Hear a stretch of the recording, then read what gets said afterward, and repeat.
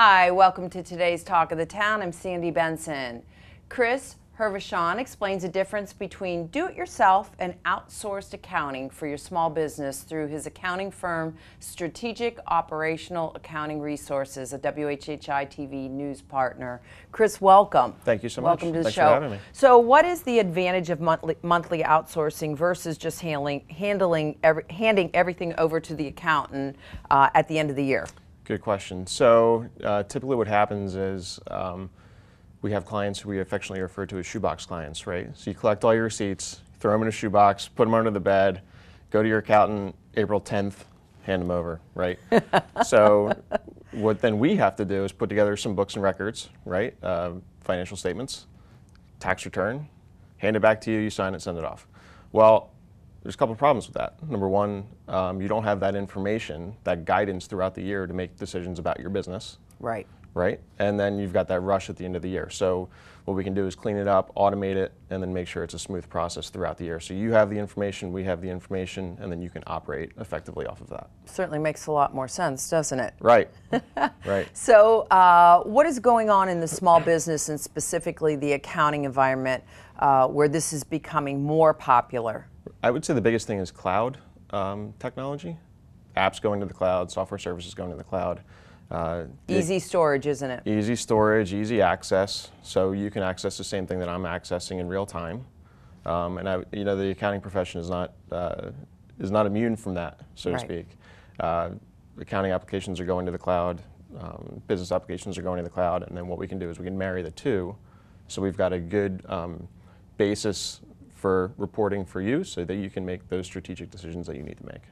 And so, is this outsourced accounting uh, service? Is this a common in, in your profession now, or is this fairly new? It's less common than it needs to be. Okay. less common than it needs to be. It does exist. Um, there is that trend that's moving toward outsourced accounting, especially cloud-based outsourced accounting. Uh, I was at a conference in June, an AICPA conference, and they gave an interesting stat, Mm-hmm. which was only 60% of CPAs plan on having cloud interaction by the end of 2018. Which Wow. is it's a shocking number. You Right. would, you would think that that should be 100%. Absolutely, My especially the way technology is going. Exactly. For instance, my business has been on the cloud since 2011, so we've got a little bit of a jump on that. Mm. Yeah. Um, but that's the way that, that it's going, and that's the way that uh, you know I think it needs to be in the future in order to get businesses what they need. Yeah, that's very interesting. So, how does a small business owner interact with you if they are an outsourced accounting client? Right. So we will automate as much as possible on the front end. Mm-hmm. So there's really only a couple of types of data collection that need to happen to put your books together. So who you pay. Mm-hmm. So those are your invoices and vendors and things like that. Who pays you? Clients and customers. Um, potentially inventory, property, plant, and equipment, stuff like that. Um, but we can automate most of that. Right. Um, so we'll work together to do that. You'll, you're still going to have to send invoices to your clients if you have Sure.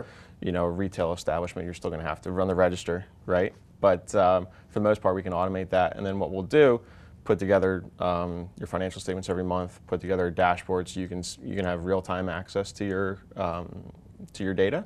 And then we'll meet every month, every quarter, whatever's most convenient. And Review everything. yeah, and then we'll tell the story of what Right. that, what all that actually means. Yeah, yeah, I like that.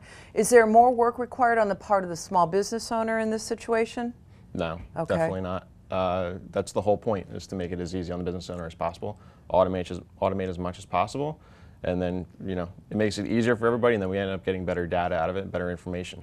And you don't have to, as the business owner, you don't have to remember a year's worth of um, uh, things that might be a question at the end of that year. Right, the old hunting and pecking through the through the bank statements and credit card statements, Amen, right? This is personal. This is business. This is personal. Exactly, Yeah, exactly. We get rid of that. so, does it cost a lot more to do outsourced account- accounting on a frequent basis versus just doing it once a year? Well, if you do it once a year, um, you're going to get billed by the hour to do all the cleanup, right? That's expensive, um, it's time consuming, and you may or may not get what you want, like we were just saying, right? The old hunting and pecking through the, through the bank statement. Um, so there's that. Um, secondly, if you do it throughout the year, you've got that information so you can make decisions about your business. Quickly. Right. So that business growth that you could potentially see by making good decisions on good data, far it, that's by far a benefit, right? Yes. And then the other thing, outsourced accounting generally is going to be cheaper than having an in-house bookkeeper. Yeah. In-house bookkeepers can run 40, 45,000. You've got benefits and the payroll and all that. not so much with outsourced accounting. I like it all. All great information. I look forward to seeing you next month. Thanks so much. I appreciate it. Absolutely. And we'll be right back with Talk of the Town.